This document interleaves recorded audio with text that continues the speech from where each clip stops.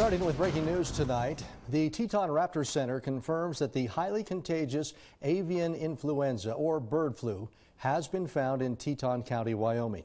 The virus tested positive in a horned owl that was in Jackson. Bird flu spreads quickly, which Wyoming Game and Fish says is also a zoonotic disease, meaning it is transmissible to humans. So they advise do not touch any dead bird that you come across. If you have chickens or other domestic birds, keep an eye out for signs if they may be sick. Symptoms include spinning movements, uncontrolled head rolling, and other abnormal neurological movements. The virus is very deadly for birds.